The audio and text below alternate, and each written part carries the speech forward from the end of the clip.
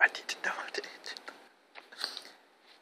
If y'all leave a comment down below to tell me how to end this, that'd be awesome. Because I have no fucking idea. Anyways. I don't even know how to say bye.